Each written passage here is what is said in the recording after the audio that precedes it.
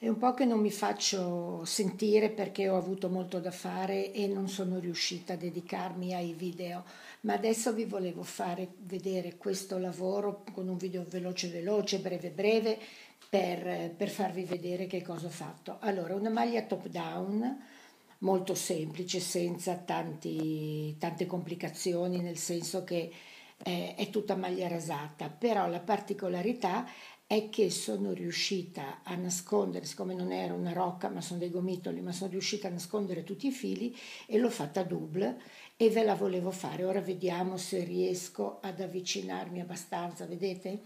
Allora è fatta tutta del rovescio con il raglan dove poi ho fatto gli aumenti per il top down, ma è un top down semplicissimo, non ne vale nemmeno la pena di dare le spiegazioni perché appunto è semplicissimo. Poi ho continuato, guardiamo se riesco a farvi vedere, vedete qui il raglan, l'ho continuato sui fianchi, ho proseguito con i tre punti di maglia rasata, ora essendo appesa non si vede, però l'ho un pochino incavata, sciancrata, non so, mi sembra che in gergo si dica così, comunque ho fatto questo, questo lavoro e eh, non c'è un nodo, non c'è niente perché ho unito il filato in modo che non si vedesse il nodo. Adesso ve la faccio vedere dall'altra parte.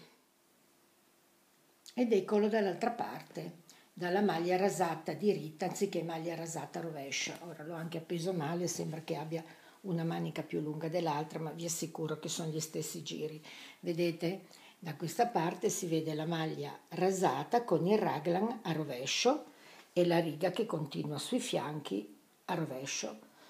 Non è niente di che, però diciamo che potrebbero quasi sembrare due maglie a seconda dell'occorrenza, se si preferisce più da una parte o dall'altra, è possibile farlo. Molto semplice, molto lineare, a parte questa piccola incavatura alla vita il collo è, non è né un dolce vita né un, un, lupetto, è un po' più di un lupetto, un po' meno di un dolce vita, però piace molto così perché rimane molto aderente senza bisogno, mi vedete nel, vedo che mi, si vede la mia ombra nel, nel vetro della vetrinetta.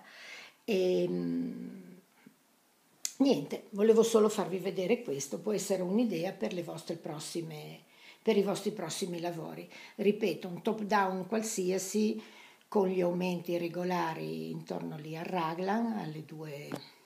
All'unica cosa vi volevo dire, io ho incominciato, come potrete vedere anche in molti altri miei video, ho cominciato sì eh, dal collo, ma non ho fatto il collo. Per il collo ho ripreso poi i punti, perché mm, io generalmente faccio così, vi dico anche il motivo. Io inizio la maglia con il filato e i ferri che mi sembrano più adatti al filato. A volte succede che o perché ho la mano più lenta o perché ho la mano un pochino più tesa, devo cambiare il numero del, dei millimetri del ferro perché magari rimane un po' molle o un po' dura.